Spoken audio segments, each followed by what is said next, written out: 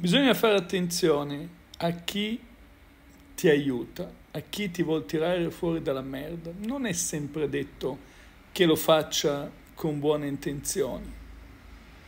Questo accade e per farvi capire questo vi racconterò una storia.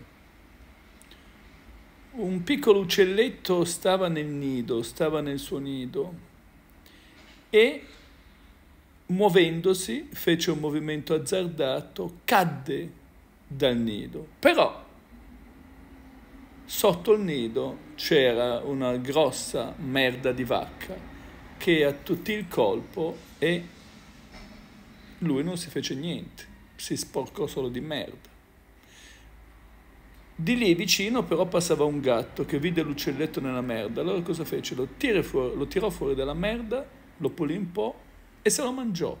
Quindi la morale qual è? Finire nella merda non è sempre la cosa peggiore e chi ti tira fuori dalla merda non lo fa con le migliori intenzioni, spesso.